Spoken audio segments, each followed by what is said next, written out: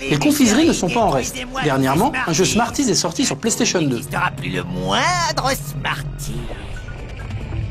Il s'agit de Smarties Meltdown, qui propose d'incarner un bonbon au chocolat qui doit se faire une place parmi les siens.